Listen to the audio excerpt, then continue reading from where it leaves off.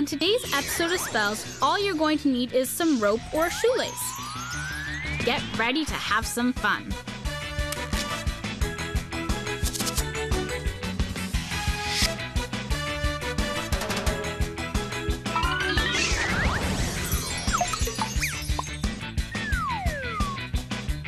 Hi, welcome to Spellz. He's Jay Sankey, and I'm Bridget Hall. And on today's show, we're going to teach you how to do some really cool tricks with rope.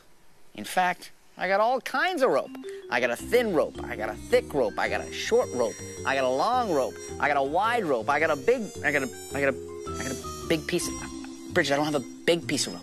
I think I can help you out there. Just give me one second. How's this? Wow!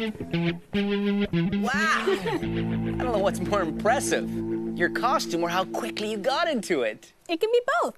But hey, it gets better. Not only am I a big piece of rope, but I'm also a wrapping rope. Observe.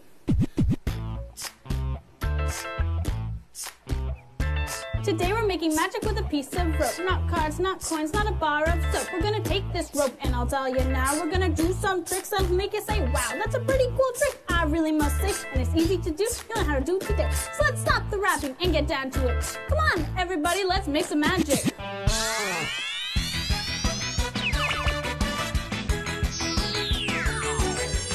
You know, Bridget, most people need two hands to tie a knot. Yeah. But watch carefully, just a shake.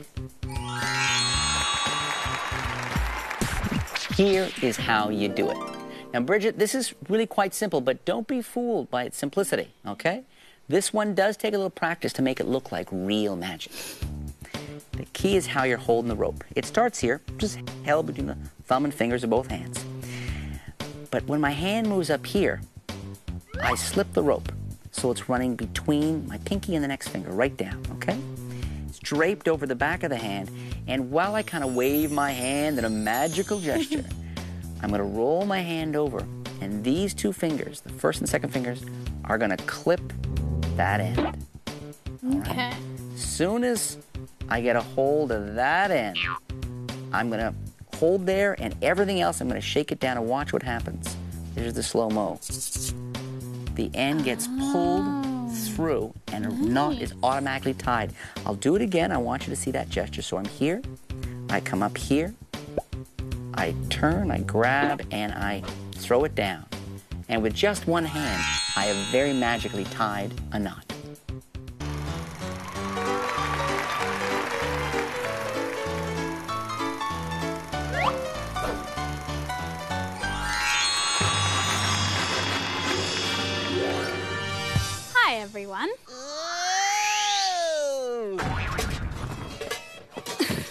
Bridge. Hi, Jay. Thanks for swinging by. No problemo. That was a sturdy piece of rope. You know, I bet that rope was as sturdy as the rope Houdini used in Metamorphosis. Metamorphosis. Isn't that when one thing changes into another? That's right, but Metamorphosis was also the name of one of Houdini's most amazing tricks. Houdini and his wife Bess performed the Metamorphosis thousands of times. It was a guaranteed crowd pleaser and made Harry Houdini the most famous escape artist of all time.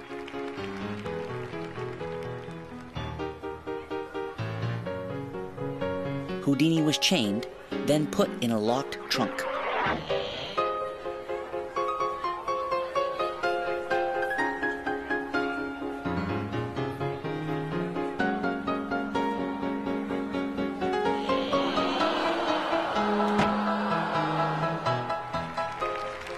His wife Bess would then pull a curtain across the front of the trunk.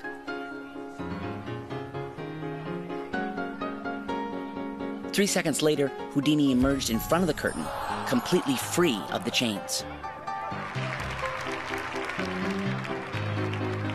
Even more amazing was that his wife Bess was now inside the trunk.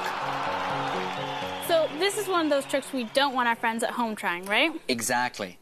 Hey, Bridget, would you like to hear a joke about a piece of rope? Uh, nah. I think I'll skip it.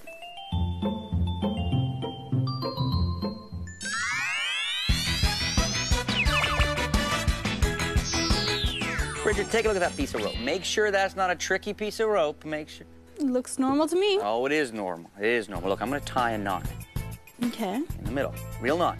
Yes. In fact, I'm going to tie a double knot in that, okay? All right. Make sure it's tight. Now watch the knot. Just a pull, and it'll melt down the rope. Not just a little bit.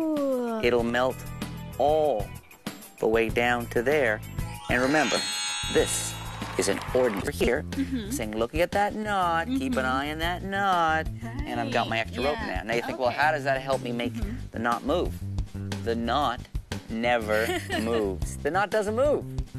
It just looks like it moves because as I pull down the knot, it doesn't move, but I let some rope out of the hand. But the illusion of the knot going mm-hmm. down is absolutely mm-hmm. perfect. And my favorite part is at the end. You can give this to people, mm-hmm. they can untie the rope, and they can see it really was an ordinary knot.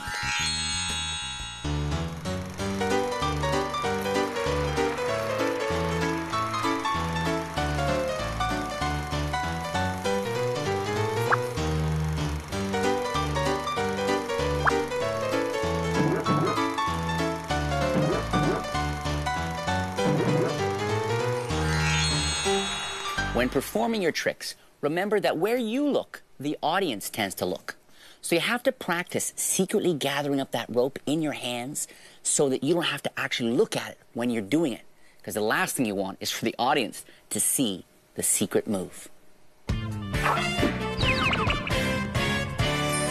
So, Bridget, what do you have for us today?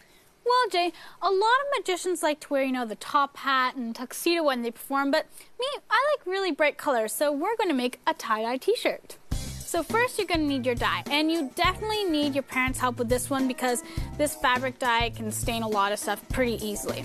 And then to make the dye, you're going to get just some of this fabric dye that you can get at a lot of fabric stores and boil two cups of water and add this to the two cups of water.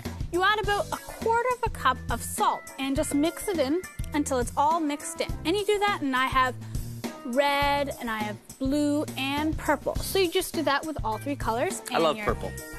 I'm glad to hear that, Jay. And then, oh, of course, you also need three paintbrushes for each different dye. Then with the shirt, you want just a white shirt. A white shirt works best. And then you're going to take these little elastics and make little knots. So let's get one. And you want to make sure the elastics are really tight so that the colors don't kind of mix together. I'm going to start here. Why don't we use some purple? And you're going to have to put a lot of color on just to make sure it soaks. And what the elastic does is it puts a little bit of white between each part, which I think is kind of cool. So you're going to do this with the whole shirt. Mm-hmm. And once you've done that, you got to let it dry for one, maybe two hours. After it was done, we used some glitter glue and just made these bright stars, which I really like. But you know, you don't have to do that. You can just leave it simply tie-dye, and it's a very colorful, very magical shirt. Here's a tip for all of you who exercise. You should always warm up before you work out. Huh? Don't take my word for it. Look, I'll show you. Two cards, they're gonna exercise together. I put them together, they go down, they touch their toes. Yay!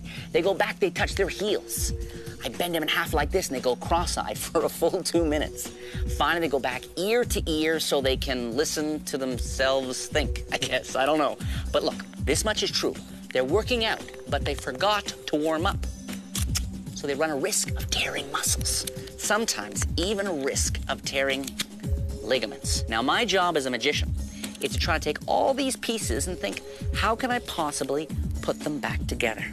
So maybe this piece, maybe it'll fit with that one. Maybe this one will fit with this one. I'm not sure. But watch.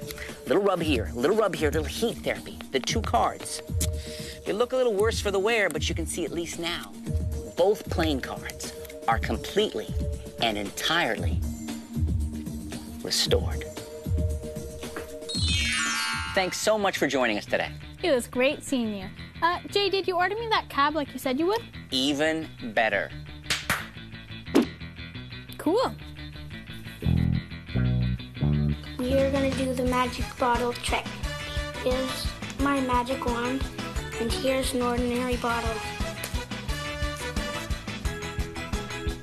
Okay. I'm going to put in my going to make it defy gravity. Abracadabra.